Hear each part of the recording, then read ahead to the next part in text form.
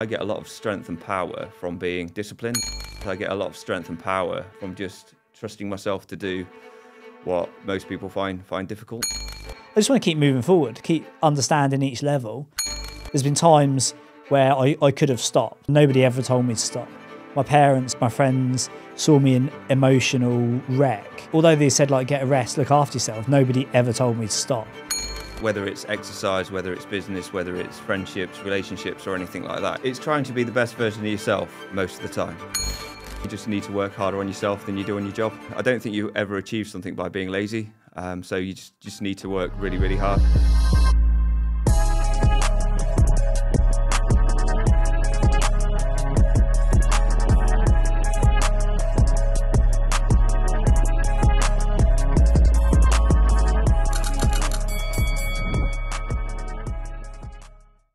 Okay, ladies and gentlemen, it is that time again. It is the six rounds podcast format on the Blueprint podcast. This is one of our audience's favorite topics, and I'm very pleased today to welcome a very special guest. This is his second time on the six rounds podcast. Some of you may know him, some of you may not. He's been on the six round podcast episode previously. He also recorded a Deals, Deals, Deals podcast episode most recently where he shared a deal where they made over seven figures in equity and haven't had a conversation today. It's not the only deal that they're doing that looks like that. He's a very good friend of mine. He's an ultimate high performer. He is a sub 245, two hours, 45 minute marathon runner. He is an absolute machine. His name is Ian Bower. He's my friend and he is here today to do six rounds on the Property Entrepreneur podcast. Thanks. Ian, you're up. I think I went first last time, didn't I? Nice. So, first question is a multiple of questions, quick fire. So, not sure how well it's going to work, but um, I read a book by Tim Ferriss, and it's got 11 questions that he asks um, high performers to answer. So, I just wanted to go through these 11 with you, quick fire. Nice. To see uh, to see where they land. So, first question is, what book or books have you given out most as a gift? Or what's one to three books that you have greatly that, that have greatly influenced your life? So in my early days uh, was the Something Laws of Invaluable Growth by John Maxwell. Uh, more re- uh, for everybody is Dale Carnegie, How to Win Friends and Influence People. Great and most book. recently, oh yeah, absolute game changing book. And most recently is Stillness, which I actually recommended to you. I've read that, yeah, thank you. By Ryan Holiday for people who are trying to come down from the high. They're, the, they're my three. Any any other game changers for you? Uh, so for me, Magic of Thinking Big was the first book I read, and that just opened my mind to personal development. And I think uh, three, I think for me, longevity is a big thing now. So lifespan, life force, and outlive are, are three brilliant. David books. Sinclair's literally like asleep to him. Yeah, is is amazing. It's he amazing. Um, so question number two: uh, What purchase for a hundred pounds or less has most positively impacted your life over the past six six months to say two years? Fantastic question. You can pass on any of these and we can come back if you, if you don't have an immediate answer. What's yours? So I've got a set of Bose sunglasses. They're a couple of hundred quid, so a bit more, but I got given them for free, so I thought I can fit them in there. But I, I essentially listen to a book a week by by these. Have just been a, an absolute game changer for me. Because uh, I do a lot of running, as you know, so I, I listen to them whilst out running. Yeah, I don't know. I'm just trying. Uh, t- I would say Tupperware.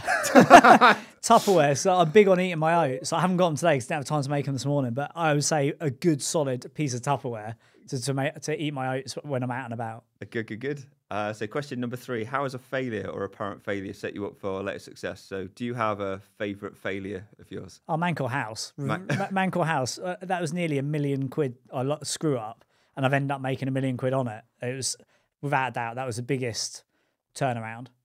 Good, good, what good. about you?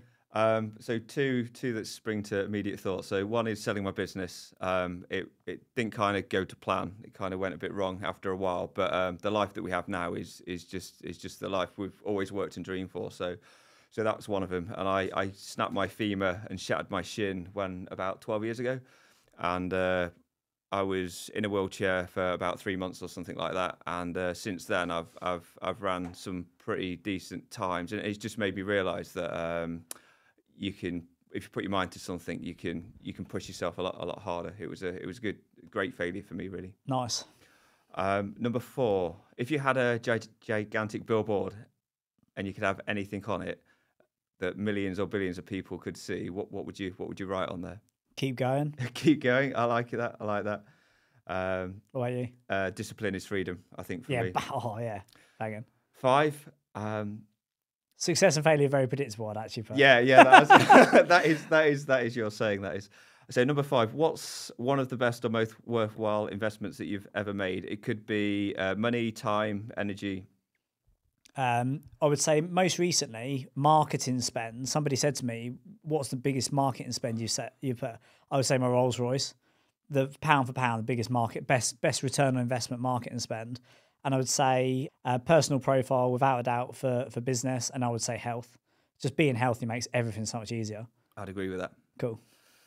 Um, number six. What is an unusual habit or absurd thing that you love?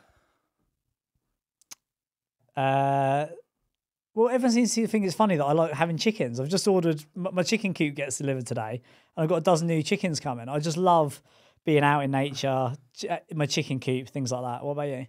Um, so nothing really. I guess the only absurd thing that I am quite fond of. uh, Annetta and I have a teddy bear, Oh yeah, Ne- Nemo. Nemo, that we quite like. So that's probably the thing. The thing for me. I would say my, my oats as well. I've got a whole setup in my kitchen. You might have seen it of my oats, my protein powder, my berries, my goji berries, my blueberries. I'm just obsessed with the perfect bowl of oats. So that's probably a bit of a strange thing to do. Cool, cool, cool. Uh, number seven. Um, in the last five years, what new belief, behaviour, or habit has most improved your life? Understanding that you can put life before business. Very good. That's changed my life in the last three months. Uh, you And what was the catalyst for that? Do you think? Breaking through in January, I did. I recorded a, a podcast called the Breakthrough Blueprint, and you know, the whole time you and I have known each other, I've sort of been hitting this glass ceiling of not getting to where I wanted to get to and searching and all that. Finally, actually breaking through and realizing that all those scripts that I've had for 20 years about work hard, work, you know, it's all about work, work ethic.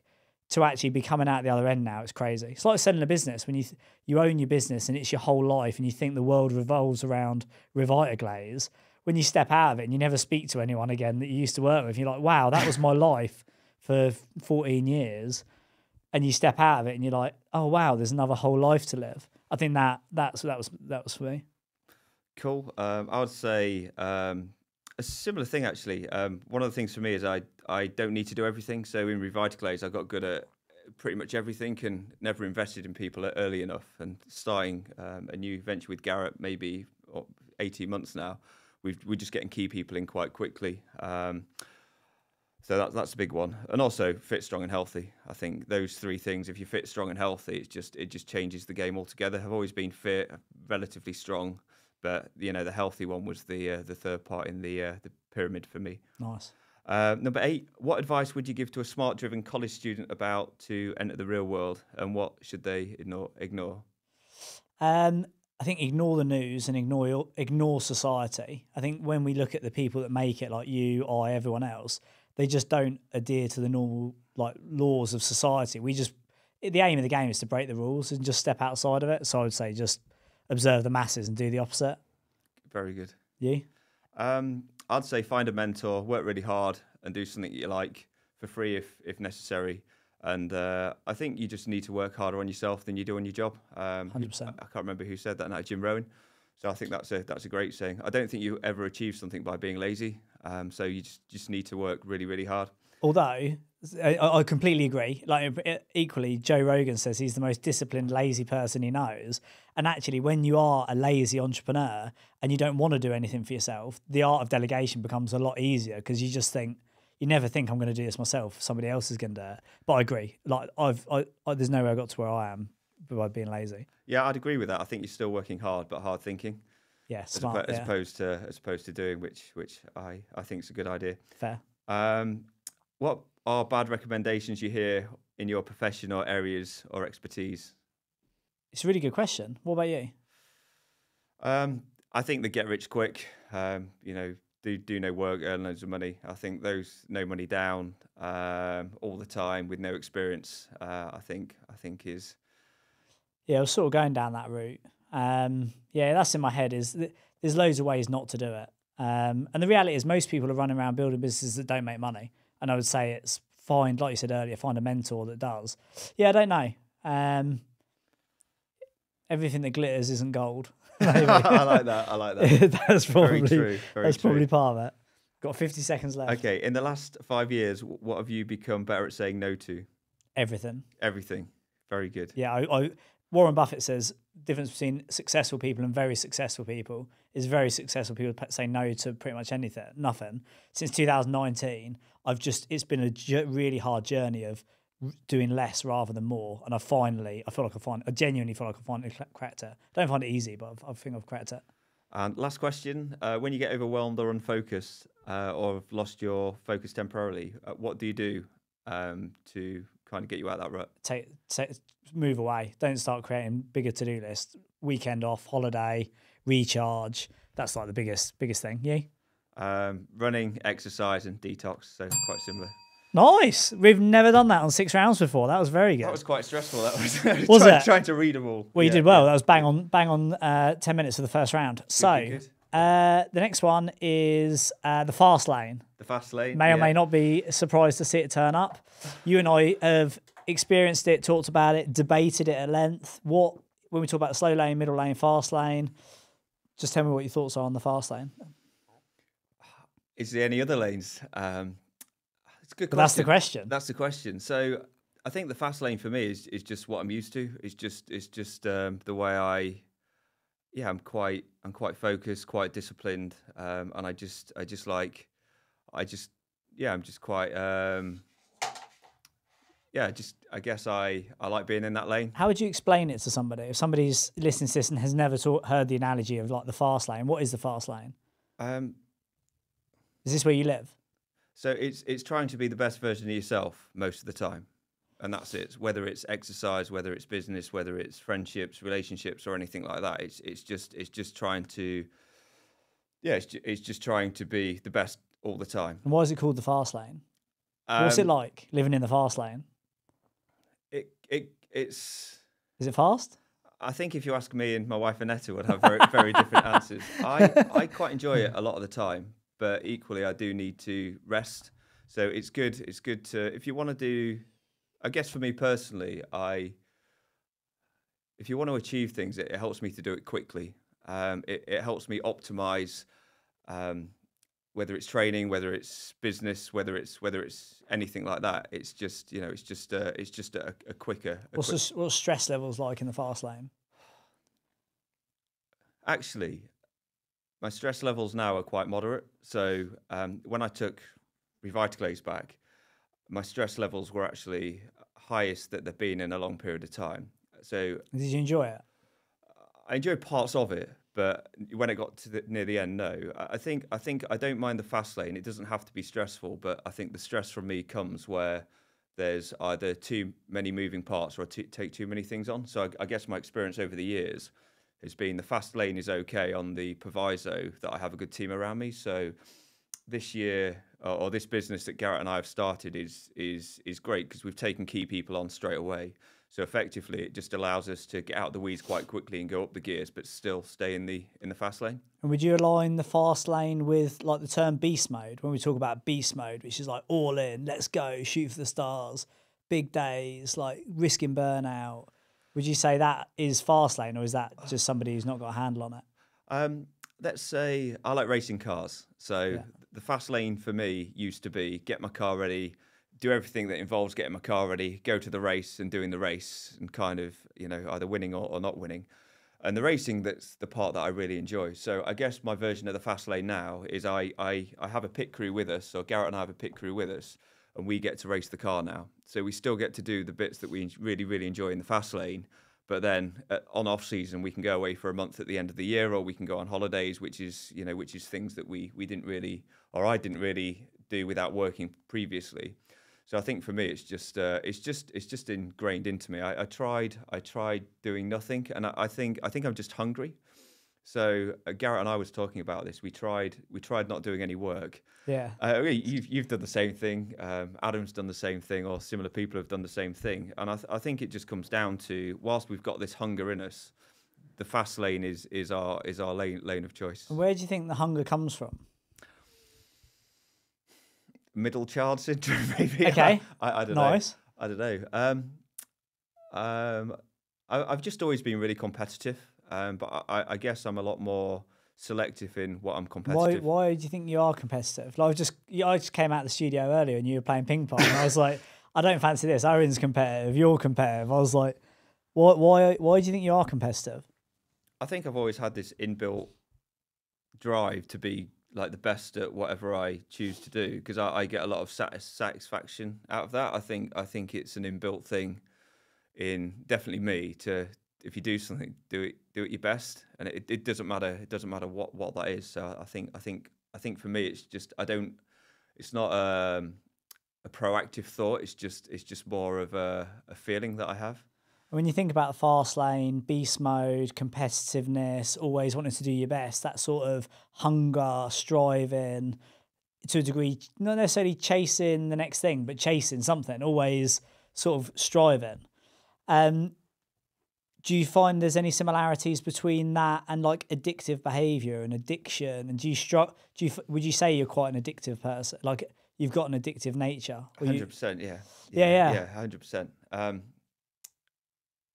yeah, choose your poison wisely, I guess. Um, so And you find when you use it to your advantage and you f- get addicted to something good like fighting, training, business, it always works well? Or do you find in the same way that if, if, if someone was a drinker, a drink on a Friday night is great, but drinking whiskey at 10 a.m. is like a bad move?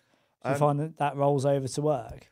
yeah, I, th- I think I think I think as as I get older, my my wisdom's a lot better now, so I can I can balance things. So, for example, when when we had Harry, our our, our boy, who's 16 months old now, um, I ran three marathons, did an ultra marathon, and um, and uh, did a Thai boxing charity fight. And uh, and when I when I look back on reflect on that, I kind of think that that is a lot to do That's fast lane to me. That's but beast mode. Why would you do that? because What are I- you searching for? so I think What's the objective? So the the I mean for me like running a marathon I can run a marathon on a you know with three four weeks marathon marathon training it wouldn't necessarily be super fast but it's so for me running a marathon is not necessarily difficult um, because I do loads of miles it's, it's running a marathon at uh, a target of sub 245 pace is, is where it is where it gets hard um, so everything comes at cost and I think for me sometimes the cost of not doing my best is worse than the cost of taking the easy lane. And I, and I think I think for me, I, I get a lot of strength and power from being disciplined. I get a lot of strength and power of from um, from from just trusting myself to do what most people find find difficult. Um, and why, whilst I enjoy that, it's it's uh, I think I'll continue doing it. But the I think going into next baby, am I going to do the same thing? Probably not. No, definitely not. No. It's interesting. So so there, there is a, a level of wis- wisdom there. And what are your what are your thoughts? Well, I, I think the the the older I get and the more wisdom I have around imparting my insight and stuff like that is to realise eh, we're all at different levels of the lighthouse, and also you can be at the same level looking out of a different window, and it depends which morning you wake up on and what day you are. Because I'm now coming out of it for the first time ever, I'm noticing a lot of my traits around addiction and also not for the best. Like Adam and I were away in Bali, and we're literally like ships that have passed in the night. Because when last time I went away a year ago, he was off grid the whole time, chilled, meditating, etc., relaxed, low workload, low stress, high sort of balance. And we've completely flipped this time, and he's back wired on coffees. He's like, you know, he's all guns blazing, and I'm sort of having a slow start to the day and enjoying like my journaling and stuff. And um, it's just it's just interesting to acknowledge and i think i'm definitely coming out and ready for a recharge so i'm out of the fast lane out of competing out of beast mode and i suppose i'm just starting to acknowledge like addiction like adam said to me while we were away he said you know i can't remember what i was talking about green tea i was i drunk like 10 green teas or something and he was like yeah you know it's just your new addiction we're all addicts and he's back smashing caffeine again he hasn't had no caffeine for three years and he's like, we're all addicts. And I was like, I think we are. As high performers, you're an addict. And like you said, you choose your poison. If you're addicted to going to the gym and weight training and running and and work and business, it's a lot better than being addicted to something that's going to be detrimental to you. So I think it's just an acknowledgement. And then you have to deal with that addiction. And when you're not working, you're like, right, well, what is my new poison sort of thing? So Do you think you'll go back in the because your your year of is the year of the middle lane, or it's one of your objectives. Yeah. And do you think? Because I, I personally think that you're gonna you're just having a, a pit stop, and I think I think you'll be back in the fast lane at, at some point when you get hungry again. I think so. And what what yeah you're I think uh, when you said it to me previously, I thought it was a, a possible outcome, but I didn't, you know, I didn't believe it. I was just like, nah, I'm never going back. You know, it's like when you have a hangover, I'm never drinking again. Get to Wednesday, you're like, beer? Obviously, you're not because you're, you're not drinking, but um, have, I've got a, a new emerging peer group who are like people that are maybe five, ten years ahead of me. They've made their money, they've done the big houses, they've had the kids, they've retired, and now they're starting to come back round to go again. So it's like it's interesting. And having seen Adam do it is is textbook. He he took three years and now he's going like he's in his prime. I've never seen never seen anyone go like that before, uh, or I've never seen him go like that before. So I think the likelihood is yes, but equally I'm not I'm not committing to it just yet. You're up. That's a good one. so the interesting thing is my my one is balance. Interesting. so Dan, you're just about to have a, a family. Yes. and um, so you've got business, family, friendships. Um, so what what what do you see your your kind of balance looking like over the next kind of um, short, medium, and long term future? in the same way we just talked about beast mode, I don't think balance is anything I've ever. When I look at like admirable thing, uh, aspirational things, it's not necessarily balance. I'm not looking for the perfectly balanced day to be completely dim sum, you know, like I'm completely chilled all the way through it. What I'm looking for is enjoyment. And when I've started doing some things in my house, I was de- started decorating and just being on the tools and doing my bedroom, and I clocked it like eleven o'clock one night. I was wallpapering the bedroom, and was like, "This is the first time in probably five years I've been so in flow and enjoying something that I could I'd want to stay up all night and do it." And then I had to stop myself and go to bed because obviously the addict in me would be like, "What could be better than staying up till eleven? I'll stay up all night and do it." So like I don't think I'm actually chasing balance. What I'm chasing is enjoyment and satisfaction. And a friend of mine who used to work with me a long time ago said when I was sort of having a you know a bit of a searching time, looking at what I wanted to do, when I was getting a bit sick with business, he was like, "You'll always be a growth person, but you don't necessarily need to be growing businesses. You could go and grow. You could go and be the manager of the kids' football team, or you could get involved in the school and." whatever you do, you'll do that thing. And I've noticed now, having done it with the charity and starting to do it around my house, is I'm not looking to. I've done the retirement and it was a complete false economy. The romance was very different to the reality. I actually want to be busy. I want to be active. I'm up at five. I need to be doing stuff. You know, I've got to. I've got to be busy. Um, and I suspect what I'm looking for now is I'm looking to be busy with the house and the family. So that would be my then full time job. So, yeah, I don't know if that answers your question, but that's my perspective at the minute. And yeah, it'd be interesting to get your take on it. Um, how do you think um, having a baby is going to change your life? Um, I would say probably very naive in it. Um, I've listened to you and I've listened to Akash going all, all the stories and stuff, and I suppose I still listen to it same as anyone would and be like, yeah, but it'll be different for me. you know, it's not going to be that crazy. Um, so I don't know. I think it's going to be the good thing is it's going to be my priority. So it's going to. I want to be at the house. I want to be doing stuff around the house. I want to get involved with with with having a family. Equally, I'm building a new home office at the end of the, one of the fields, and I'm going to go to work every day. So like Sav's really keen for me to go to work and her to be at home, and then aspirationally, I hope that I'll then come home and want to relieve her of of the kid, take over, give her some respite yeah, I mean that's my vision of it. I think it's going to be unpredictable. I've cleared my diary. I won't be here for two months. You know, I've, I'm trying my best to create the space, but I suppose it's like everyone's got a plan till they get punched in the nose, don't they? So, Yeah, I completely agree with that. what would your words of wisdom or insight be? In fact, you've given me it before, and I think uh, the reading's quite consistent. Yeah, I think I think it's it's one of those having a baby is one of those things that um, you can't. It's very difficult to share until you've done it. It's it's the same as like being really fit or running a business or having children or having a like a significant experience in your life until until you've done it. It's you can you can try and share, but until you you feel it, it's it's it's it's difficult to explain. Um, you just I think it's just. Um, I think one thing it did for Aneta and I, it really exaggerated our relationship in a in a nice way. So if if you are if you've got a great partner and things are bad, you'll you'll go over and above to help each other.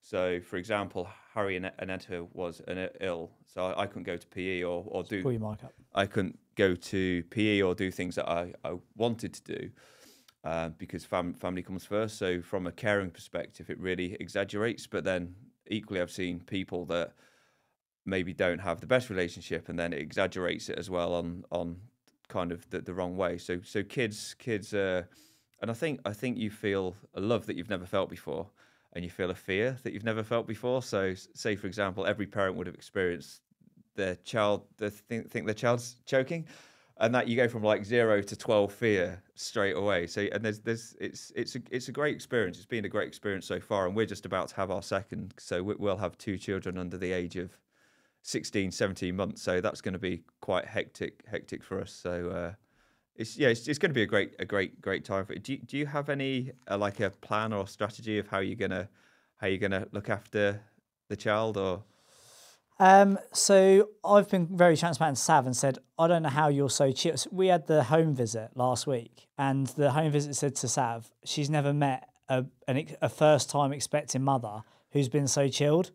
And and I was and Sav's not necessarily the most chill person. She can be quite nervous about stuff and things like that. But I say to her, I have no idea how we're going to keep this thing alive. I don't know how to feed it. I don't know how to change its nappy. I do believe that if anyone can do it, I can do it to a degree. You know, everybody else is bringing kids up. Um, but Sav's like, yeah, she, you know, she's had, she's got brothers, sisters, nephews. You know, she's she's like, honestly, it'll be fine. Anything we don't learn at NCT, I can show you. I like to go in. You know, normally I'm reading books. Obviously, we're reading a book every day and like all that sort of stuff. But um, as far as like preparing for it, it all I'm doing is clearing the space and being able to be present. Also, I'm quite realistic that well, I had some uh, a guy uh, who I met was in Bali actually, a very like spiritual guy. I said to him like, "What would what would your advice be?" And he said, "For if she's going to breastfeed and that's going to be the sort of primary thing in the first few months, he's like, you're probably going to end up caring for her as much as you are the baby." And if you know if you're not already a ma- like a man of service, you might want to get used to being the man, the person who's serving the partner rather than the other way around. And Adam was there and he was like, well, thankfully, like that's literally how Dan lives his life. So I was like, being a man of service, I'm hopeful because that's my love language. I love being of service. I'm quite happy running around doing stuff. Hopefully, it'll play to my strengths and, and there'll be that. And I think it's, and a lot of my friends have said, including you, I think, have said, get some help, you know, get a night nanny, get someone around the house. And like two two things sort of things we came to. One was um, Sav and I said that may be what we we can see the value of that, and it might be what we do for our second child or a month in. But actually, we want to experience the shit, you know, to like rather than avoid it, go through it, experience it, and then make a decision. Realize it's crap and you need some help, and then get some help. And the other thing was, uh, I'm really I've thought about having kids and starting a family for years, and I've always thought I'm never ready. I'm not ready personally. I'm not ready financially. And people have actually laughed out loud, and I've said that to them in the past. And some a friend of mine who's just had her first child, who's two years old now, she messaged me the other day saying congratulations, and I said any words of advice, and she said, um, she said I think the biggest, uh, if you're feeling nervous and anxious, the biggest insight from her side would be the majority of problems that most people face bringing up kids it's quite likely I won't have to deal with them. So, like having to go to work 50 hours a week, not being able to afford to have a nice lifestyle, living in a small house where you're on top of each other the whole time. And I thought, you know what? Like, that's not something I've acknowledged. I've gone into it like I'm the bottom of, you know, I'm going to have the biggest challenge anyone's faced. Where actually, if I look at it, I've got Sav who knows it inside out. I've got the, the luxuries, if I need it, of getting help around the house. We've got a slot, you know, we've got enough room in the house to have our own space. I'm going to have an office at the end of the garden. So, yeah, I feel very optimistic. I feel very excited. I don't feel prepared, but I feel like I've created enough space that I can get punched in the face and the dominoes won't tumble. Very good. How naive is that on a scale of 10, 1 to 10? Um, I think it's normal. I think it's okay. normal. I think it's normal. Um, yeah, I think I think the the night nanny doesn't make it better; it makes it less worse. Okay. Uh, so, so uh, but it, fair enough. But it's um, so we're going to have one on the second child, maybe two, three nights a week, um, because it's an happy mummy, happy world, you know. And I, I completely agree with that sentiment. As long as mum is happy, doesn't matter if they breastfeed, bottle feed, or it doesn't really matter from my, my view. And it, and it doesn't matter if you you're 100% disciplined on one thing and you do a 180 degree U-turn the next day. It, it's it's it's all kind of good. Um, it's just yeah, it's just an experience, and probably just embrace everything, embrace the good and the and the not so good. And do you have any any um, kind of aspirations of what kind of father you, you want to be? Have you if you thought about that? Yeah, I just want to be a natural father. I don't want to be naive and oblivious and not.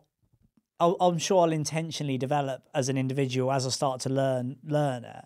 But my aspiration is that I'm the same parent as I am a partner and a leader which I think is well rounded. I think it's like firm but fair. You know, I'm not going to tell you what to do, but if you want help doing it, I'll give you a hand. I'm not going to let you play the fool. I'm not going to let you take the piss. Equally, you know, I'm not going to be a disciplinarian and and that I think, and also there's you look at how you were parented. You know, most people either model their parents what they did or model what they didn't do, and I think you know that'll naturally play into it. But yeah, I just think I, I optimistically think I'll be like me. I, I because yeah, I just yeah, I just think I'll be like me. Like I'll be a friend, a parent, a partner, a leader, uh, you know, coach, mentor. I think that, that that's my plan. Good, good, good. Nicely done. That was a good one. Uh, so spirituality. Spirituality. So the meaning of life, spirituality. Like what is your take? Why are we all here? Do you think about it? What is spirituality? Is it something that's part of your life? Small question. nice, easy one. yeah, I, I, um, so meaning of life for me is just be nice, do your best. Um, it's, it's, it's, it's so complicated, like just to try and uh, think about how we got here, how the earth is here. Well, let's spitball. Where have you got to with that? Um, so you didn't get to see a picture that I've had put up in my bedroom because you didn't come to the uh, murder mystery dinner with the board. But I've had this picture put up on my wall. It's absolutely ginormous. It must be I, I don't know how big it is. I think it's seven and a half meters long, about two and a half, two point nine meters high. Ginormous canvas, and you look at it, and it's the largest photo that's ever been taken of the universe from the Hubble telescope. It's 20 million light years wide and it's 1,600 light years away from Earth. And I just look at it, I lay in bed at night and look at it and think, what? Somebody needs to explain this to me. I, I think the reality, or my reality, is that the, the likelihood of us ever knowing in our lifetime is, is low. You, you have a, there's, I can't remember what book it was, but I was reading, it talks about the evolution, and there's some fundamental flaws in some of the calculations that they've assumed, um, which I don't know if it's, it's right or wrong because I, did, I didn't sense check that. But I, I, I don't know where the world came from. I, I, I often think about it. I, I do you? Yeah, it's it's. What do you think about? I just think how incredible it is. How incredible it is that we are on this sphere spinning around in the middle of nowhere, and we have we have life on here. And I think. Do you actually believe that? I don't. I probably don't give it enough thought to not believe it. Probably I, for the best. I, I, I, assume that that's that's that's what's happening, uh, but I don't I don't really give it much thought. Apart from that, I, I think I think with because we're so insignificant, like in reality, like when we die, in you know, what's your great grandparent's name, or or if you think about someone that's not famous, like the you know now the now the Queen's passed away, it, it's it she's she's not forgotten. She, she'll get remembered, but it's she's not significant. The significant goes very very quickly. Um, so I think I think that's yeah that's that's the interesting thing about life life for me. It's just it's just about now. Um, I think. You, would you say you practice that? Because it's a very easy thing to say. You know, it's all about just be present. Life short, enjoy it.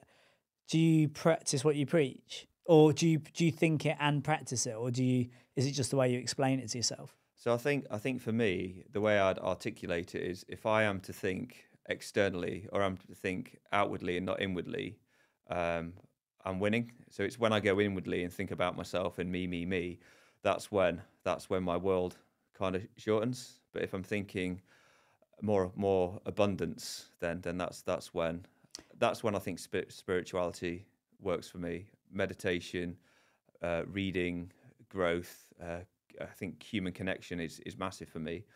So those those are the kind of fundamental things that, that work really well. And when we talk about spirituality, for people who are listening to it and probably thinking about sort of uh, meditation and yoga and maybe even like the universe, when somebody when somebody says spirituality to you, what does it what does it mean? Um, it, it could mean many things, ranging from um, psychedelics to um, sitting in a cave meditating. I, th- I think I think the word spirituality is is so vast that you've got so many different.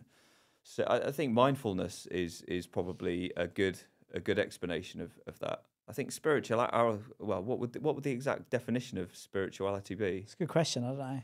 Yeah. Because I mean, you could put it. You could put it in a. Some people could put it in a club as like a religion, like a following of your belief, your practices, your value set. Um, but yeah, it's like, what is it? What is spirituality? Um, what about you? Because I, I remember at, at times in your life, you, you would go completely down a rabbit hole for a long period of time. And then I think self dragged you out from time to time. Yeah, it plagues me. It, honestly, it plagues me. When if I have enough time to think about it, or I'm in a dark place, or I'm hungover, or burnt out, I just straight away go to like, what's the meaning of life? Why are we here? Not because I'm not depressed, but it can blow my mind. Naval, who's a fantastic, you know who Naval Ravikant is. Yeah. He, for those who are listening, he's a fantastic modern day philosopher. And he says you get to a point where you've just got to stop saying how and start saying wow, because it can blow my brain. Like I can lay there in bed at night and look at that photo of the universe, and I get to the point where I'm just like, it's just not true. It doesn't exist because I can't, I can't think it exists. But then equally, I look at my life sometimes and I just think, I can't believe. Like there's a, a Wayne Dyer quote that says, "You are God," and he says, "You are God." And if you follow some of the spiritual texts, it talks about you are God because we are all the same thing, and God is the same thing, and you and I are part of the same thing, the earth, the universe, and whether that's a conscious matter or it's like a spiritual connection or it's the physical structure of energy, whatever you want to believe, it's like I I genuinely regularly think that I I believe that you've got far more control than you think over this life. Agreed. I also believe you've got far less control than you think over this life. I'd agree with that as well. Yeah. And I, I, that's how I believe. I, I, I get to the point where I have to stop thinking about it because it can drive me nuts. I'm a very deep thinker. Rob, my driver, who's out there meditating now, he said, I, I, was, I ca- he picked me up one day, hungover at Christmas from Exeter or somewhere. We had like a four hour drive home. And I was asking him really deep questions. And I said, What do you think about that? He goes, Honestly? He goes, You need to stop thinking. and I was like, You're probably right. I, I can drive myself down a hole for it. Equally, I think it's the way I live my life. So it's, I won't, I'm not trying to get rid of it. I, th- I think fundamentally, like we, we just want to be happy. We just want to be happy, fulfilled, have per, per, uh, purpose in our life. Um, I think gratitude was a big one for me recently, uh, with regards to spirituality. I, I think I'd put gratitude in there. I think I think I found it hard to be grateful when I was younger because I, I almost had, um, am I worthy of what I've achieved in a way? Um, so being grateful for for the lifestyle we have now and, and what, what we do on a regular basis, I, th- I think that's been a, a bit of a game changer for me me as well. Off topic on that with uh, just to finish off in fact no we've got plenty of time. Um, on the sort of uh, high a lot of high performers most high performers come from uh, driving parents expectations or experience of failure and that sort of drive not necessarily uh, spirituality but they have that desire that pain they're trying to get away from whatever it is. Definitely true for me true for most high performers. Um, when you talk about like self-worth and self-esteem. One of the things i realized in the last six months or so is I've, I've got a very high self-esteem. I've got the awards i feel very confident i feel very capable. But what i realized is i actually have a low self-worth which means i undervalue my time i do things for free i put others ahead of myself. And i've actually done a lot of really deep work on that over the last three months and i feel like now i'm coming out of it and it's funda- it's really changing my life the way i think and the way i feel would you have you ever clocked the difference and would you say that you have a similar mirror on that or would you say that you, you're aware of the difference and actually you feel very comfortable at both of your levels. For me personally, For you, yeah. Yeah, I, I would say that when I joined the board at Property Entrepreneur, that was a game changer for me because I I was relatively successful in my own little world, and I, I had nobody to benchmark myself against um, that is kind of on a sim- similar path, and uh, I was almost embarrassed about the success I had in my business and didn't really speak about it. But when I when I was amongst like a, a peer group and I think I think for me the key thing the the change was when I was respected amongst the group that I respect. For me, that that gave me uh, almost permission to myself to think, oh, actually, I'm I'm okay. Uh, so that that was that was that was probably it's probably about three years ago when I I got to a period in, in my own mind where I'm at peace with myself. I'm not like um, yeah, I'm not doubting myself anymore. I doubt myself. Um, I doubt what I d me as a person. I don't doubt myself. I'm, I'm comfortable in my own skin now, and that that was that was just from um, from being around a group of people that I now class as peers. Yeah, that's really nice. And I would say that's my experience. Like I would say recently, I feel like I am as good as I am. Uh, whereas previously, I would not think I, that whole thing we talk about high performers. Other people think they're up here. They're actually probably a little bit further down. They think they're a lot lower down. And I feel like having gone through this motion, this breakthrough, and now having a peer group of people that are doing the things that I want to do and, and gives me permission to do it.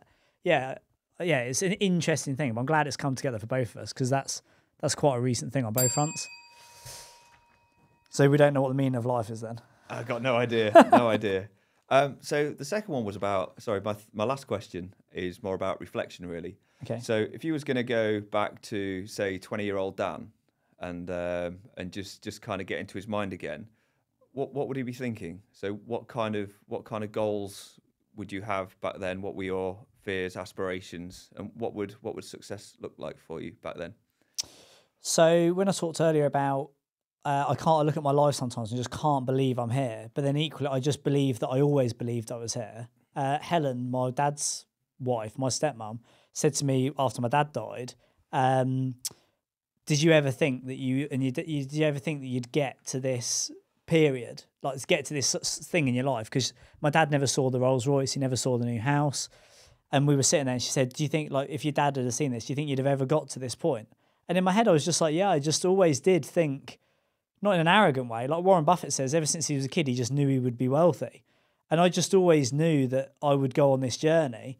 And also because I'm stoic, I'm quite indifferent. Like if someone rang me now and said, the property market's been taken over by the government, you know, you're gonna you're gonna have to start again. Sav and I would quite happily go and live on a narrowboat again and just live on beans and bread. Like it's uh yeah, I've, I think the the whole thing of where did I want to get to, I was always clear. I just wanted to keep moving forward. That's probably the cle- like you said earlier. I just want to keep moving forward, keep understanding each level. So that's not a su- surprise and not something I'd probably say to them.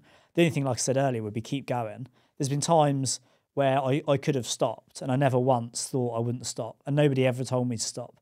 My parents, my, my, my friends saw me in emotional wreck, burnout, physical, you know, ruin. And although they said like get a rest, look after yourself, nobody ever told me to stop, which is quite yeah, quite a, a significant thing. I think the biggest game changer I would have told 20, what 20 year old Dan is 20 year old Dan was out for what 20 year old Dan wanted. And he was arrogant. He was, I don't know if arrogant's fair because I've always been quite a, like, I've got on with people, but I was probably, I was putting my own objectives ahead of everybody else's. And then in 2012, I learned from one of my mentors that if you want to achieve your own g- dreams, the secret is to figure out how to help other people achieve theirs. And that just changed the game for me. When I started to learn that I need to lead from the back, help other people, and you, then you can help yourself. The more you give, the more you get. That took my my organic growth into exponential growth by realizing it's a you know it's it's not a one player game. It's it's a that's the game to play. That would be my big trigger point that I could have learned earlier. What what were the bigger fears that you had when when you was younger, or what was your your biggest obstacles or your perception of your obstacles? I guess looking back now. So I always thought I'd die young, and I'm only just shaking that off. Although it didn't help that my dad died young. I always thought I'd die young because my dad always said I'm going to die in ten years, and then when he died, I said at his funeral, I said, you know, most of you are surprised to be here, but I, I was. My dad's been saying he's going to die for ten years. And he's been telling me that for fifteen. so actually, I was on borrowed time. That was definitely drilled into me, not intentionally, but that was something that held me back. But also, it drove me. I've always been panicked. I've always been like when I was starting, I was like, I need to make this success now. And then when I started making money, I always thought this could be the last pound I make. So I've always had that scarcity mindset and fear of running out, losing it. So I've always been, I've always played for the long game. So I tried to keep fit and healthy. I save my money rather than spending it. And now I feel like I'm at a position where I'm going to see the benefit of that. But yeah, probably 20 years of just desperation, des- desperation. I was desperate to be successful, like like life or death. So, if you was to kind of look at where you are now from back when you was younger, did you you you won't you won't be surprised with that. You would you would. No, oh, that's good. That's not good. in an arrogant way. Like that can that's probably going to come across arrogant, but really not. Yeah. But also because I'm not connected to it. It just is what it Yeah. is. It's like every level has another devil. I also look at me and 20 year old Dan. If you put them next to each other in a pub, they'd have a great time. they'd just be like, like I'm still the same person. I always had this vision that I would be and feel different. And what mm. I realised with this hedonic treadmill is, or Ferris wheel is, you get there to where you want to get to, running the marathon, whatever. Ten thousand Instagram followers this week. As soon as I hit it, I knew I'd be like not interested anymore. I got it. I was like, oh, not even bothered telling anyone. And what about? Would you say you're content with where you are now, or have you still, you still got the hunger to keep going? Or, or I, I guess, are you grateful for where you are now, or is there something still that that just wants you to kick on? Yeah, I'm grateful uh, in more of a paranoid sense. So I manage my money meticulously because I'm like, I don't want to lose it. Snakes and ladders. I don't want to go back to the beginning. I could do it again, but I don't want to do it again. Um, I am grateful. I am grateful. I, I walk around sometimes and say, I can't believe this is life. And I look at what the alternative would look like, you know, 40 hours a week for 40 years in a job I didn't like. And that, to me, sounds sounds horrendous. And actually, I'm very inspired and motivated to help, to help other people do it. And um, my definition of success now is is if I can feel content and feel present. Like it doesn't mean I'm not doing anything. It means I'm having a day where I'm enjoying it. You know, I'm doing I'm out in the garden, I'm doing stuff I want to do. And when I have a bad day of doing stuff I don't want to do, it just reminds me that I want to keep moving to the next level. And would you say you've nailed life, life by design now? Would you say you're living your your best life? Yeah, no, definitely not. I'd say if you think about property entrepreneurs, wealth, health, uh, wealth, health, and life by design, I'd say wealth nailed it. Could teach anyone how to do it. Health, I would say I'm 90, 80, between eighty percent there. The, the the gains I'm looking for now are like considered to the masses. They're they're tiny. Life by design is my new thing. I would say someone like Adam has nailed life by design. For me, I'm I'm in the first steps of of enjoying it, and I'm now when I talked earlier about breaking through and enjoying life and putting life before work. It's when I I'm still not there, I'm, but I'm on I'm halfway there. Where the, the days that I have when I see it, like I'm playing snooker, like my new peer group who've all sold their companies and you know they're still making millions of pounds a year, but they're playing snooker at two o'clock in the afternoon on a Wednesday. The first time I did that, it was horrendous. I felt uncomfortable. I was like, this is just an oddity. Now I do it quite frequently. I'll go to the gym with them in the afternoon. I'm seeing what life can be like at that level. And that's what I'm really looking forward to. And I'm just trying to remind myself I deserve it. I don't need to be available. I don't need to be around.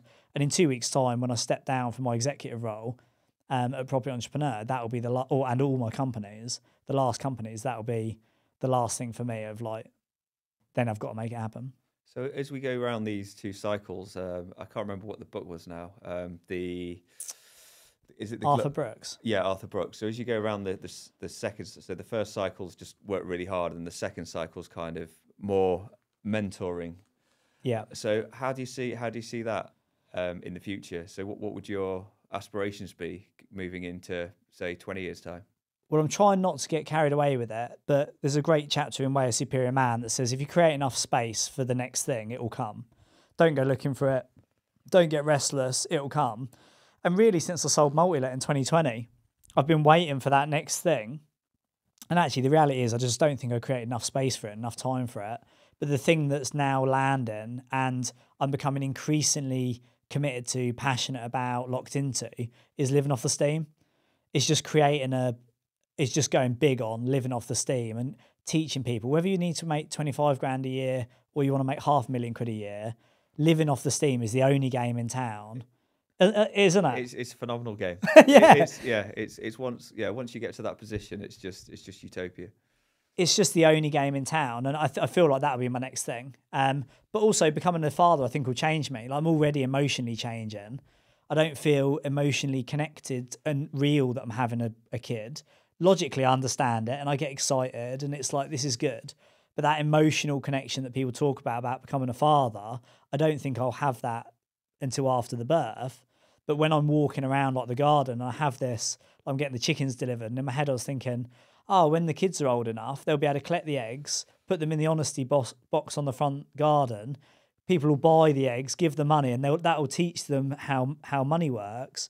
I just started like not crying, but my eyes started like welling up, like thinking about it, and I think, oh, that's that emotional connection I've been looking for for probably five years or so that I used to have as an entrepreneur, and I feel like now I'm just ready for the next chapter, which will probably be kids, or it will be kids, and then it. I'm sure then that will give me even more drive to do the next thing, and you know I'll go on that journey. Happy days. Ah, that was very focused on my answers that one, but I really really enjoyed the questions. Thank you for those. Right, last but not least, dun, dun, dun, dun, we've covered both of them loosely, so maybe I'll do both of them. So the first one is uh, how does your brain work? So how does your brain work? What do you think on a daily basis? How do you process thoughts? Like everyone's brain's different. How does yours work? And then as you as you're describing it, try and come up with an analogy that describes visually how your brain works. So when I used to be an entrepreneur, when I was a very busy entrepreneur, the way I described my brain was as a lottery machine. All the balls bouncing around all day, every day, but then eventually something amazing would seven fantastic things would drop out the bottom. I don't know what mine's like now, but I'm hoping through this conversation we can figure it out for both of us. How does my brain work? So I would say I've always got so Garrett and I. Garrett's my business partner. He's a tempo, and I'm kind of a creative blaze. And, and I think my, my brain work. I'm always in the future. Um, I'm always thinking about the future. Um, and I've, I'm always I, I it's it's like I see a jigsaw puzzle on the table. I see all the pieces. I see all these different pieces, and um, and I, I can see what picture we could we can make. And sometimes some of the pieces won't work and you need to throw them away. But sometimes some of the pieces that you thought might be good are, are great. So I think I think my my brain works. It, I kind of love bringing things together, whether it's people, community, uh, culture, uh, business. Uh, my my I think my brain just is connection. I'd say it works. It works best. That that's what I'm. That's that's where. Yeah, that's that's where I I would say I would say it works. And what sort of journey, uh, as a you know active participant or as an innocent bystander, what active what what journey does your brain take you on? Like on a daily basis, do you do you have highs, lows? Are you introspective? Are you completely extra like extroverted? I, I like I like being around people, but equally I, I do like my own time. I, I like I like being on my I like being on my on my own. Uh, I'm generally I'm generally happy most of the time. I'm generally at peace or I'm generally chilled out most of the time. When I am not happy is generally like when I'm stressed or when things are you know when things are getting on top of me. But ge- generally I'm I'm pretty I'm pretty I'm pretty relaxed. I'm pretty I'm pretty chilled out. I think I think running helps that a lot though. How do you think and feel when you are stressed? Um, I get very dictatorial, as in like this is what we're going to do. I take control and try and control or manage my or manage the situation out as quickly as possible. Um, I yeah. So if if I- can tell when I'm really really really stressed because I, I sometimes I just feel like crying Yeah, that's my that's my like you know when i'm just feeling sad and and i just feel like crying that that's when i'm i know that i'm like burnt out stressed things are you know and that that's my that's kind of my signal that things are things are going too far Yeah, that's interesting. Yeah, mine's not necessarily. Mine's when I'm stressed, I feel anxious. I can feel it in my stomach. yeah I feel like uh, everything seems just. It's the whole thing. Yeah, not burying your head in the sand, but everything's just overwhelming. And the stress then compounds. When I get stressed, it compounds and it compounds. And it can take something simple like me putting sitting down and putting my to-do list together or getting a couple of jobs done. I'm like, oh, the world's not going to end. But I hate, especially in recent years, I hate chasing my tail. I hate being uh, chased for deadlines. I don't like not having enough time to do a good quality work. I don't like having to do good quality work when I don't want to do good quality work. So if I if I'm not feeling it one day, I don't want to sit down then and have to get it done because it's just not good. Whereas if I'm in my cave and I've got time to do it, it flows and it's amazing. Um, what about sort of like self talk and self chat? What what what does your brain say to you when you're conversing? Uh, Where does that even come from? loads, loads of deep questions today. So my, my self talk's relatively good when I'm in um, a normal state of mind. So say like chill, relaxed. When I'm when I'm stressed, I do get sometimes anxious. Um, I guess I become emotionally fragile. So what I mean by that is generally my mind's relatively strong. I, if I say I'm going to go running at this time or do do certain things or get things done, I'm I'm pretty pretty good like that. Um, I yeah, so I'd, I'd probably be fragile sometimes. That that's when I know that things aren't aren't going to plan. Uh, so what was the original? I don't know, it's just sort of spitballing. But with the uh, when, when you think about the type of brain, I was saying about self talk Yeah. and like Oh, self talk. Sorry. Um, yeah, generally my mine's fine. I, I don't I don't um, I beat myself up sometimes by by not doing what I want to do. But I, I think I think there's a a philosophy that I use is do do my best. If I do my best and be my best, then I'm proud of myself, regardless of what the result is. So if I go out for uh, New York Marathon's a great a great example. I uh, I went out at sub two four five pace and uh, detonated horrendously and ended up walking the last four miles and finished in three twenty nine. But I'm really proud of myself. Yeah, Although, although, although my time's horrendous for me personally, I'm just really proud that I did my best on the day. I couldn't have gone any faster, and, and so for me that's that that's fine.